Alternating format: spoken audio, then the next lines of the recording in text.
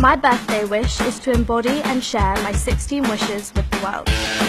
As I'm growing up, I'm realizing more about what is important in life and how simple a kind action can start a chain reaction.